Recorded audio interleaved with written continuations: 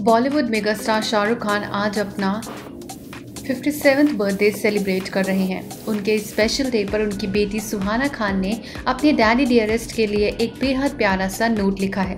सुहाना ने शाहरुख और भाई आर्यन के साथ बचपन की एक तस्वीर शेयर करते हुए लिखा happy birthday to my bestest friend I love you the most Suhana जल्द ही अपने पापा शाहरुख की तरफ़ फिल्मी दुनिया में कदम रखने जा रही हैं। सुहाना, जोया अख्तर की फ़िल्म द चीज़ में नज़र आएँगी। वही शाहरुख, पठान, डंकी और जवान में नज़र आएँगे। शाहरुख ने साल उन्नीस सौ इक्यानवे में गौरी खान से शादी की थी। कपल के तीन बच्चे हैं आर्यन सुहाना और अबराम। आई रिपोर्ट।